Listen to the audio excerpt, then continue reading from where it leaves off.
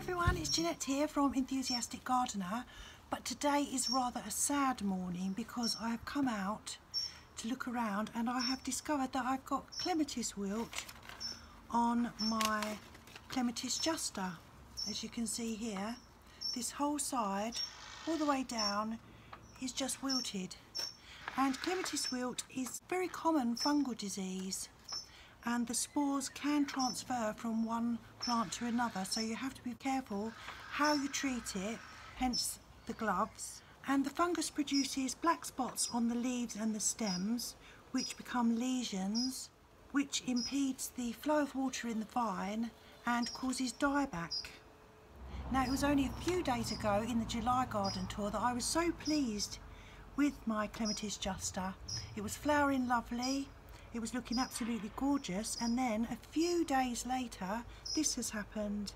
And you may remember that I said there were three stems along here originally and it happened to the one on the left which I cut back moved the middle one over. Now it's happened to the one on the right. So the chances are it could happen to the one in the middle. One way that it gets into the plant is if there are any cuts or broken stems or anything. So be, we need to be very careful when we remove this that we don't just tug at it because it might be attached to this good one and that would cause a break in the good one so we've got to be very careful. I'm not going to treat it with any fungicides, any chemicals at all because all you need to do is cut it down right at the roots at the base and take it away don't put it on your compost because you don't want it spreading if you put it in your compost.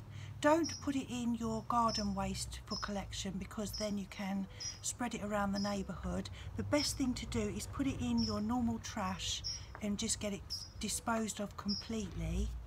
You will need to wear gloves and you will need to sterilise your secateurs or scissors afterwards with some alcohol rub or something to sterilise them because it will easily spread and I have a lot of other clematis right opposite end of the garden but it could spread so we do not want that.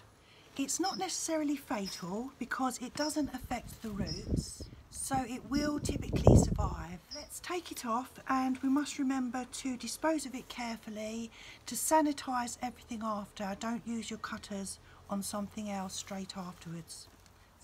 So I'm just going to go right down to the base, right down here.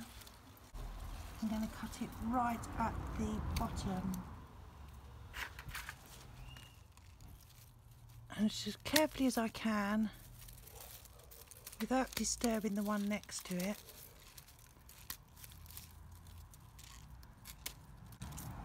Put that to one side.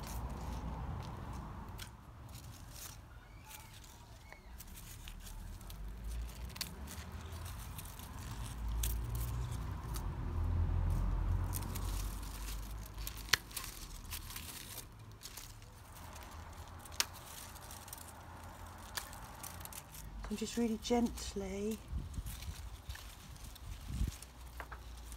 cut that away.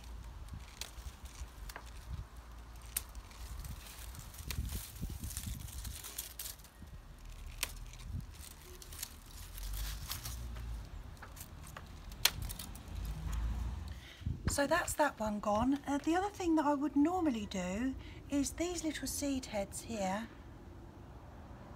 I would normally cut those seed heads off to encourage the plant to reflower but I don't want to do that now because that would obviously make a cut in the plant. So if there are any of these fungus spores around I don't want to give it any way of entering this remaining stem.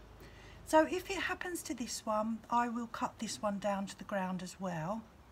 Obviously it's very sad. We will see what happens. It's got some lovely little buds there. I will sanitize these and not use them for anything else. So we'll see what happens. This happens in gardening. It's not always plain sailing in the garden.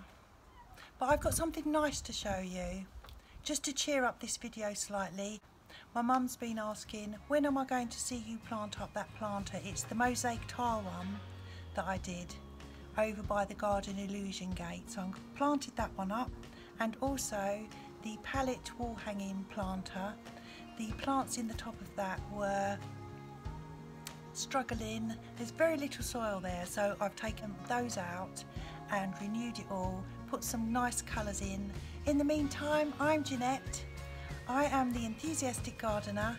Thanks so much for joining me. Don't worry about your clematis because the chances are it's just this year we may have lost it and hopefully it will flush back next year.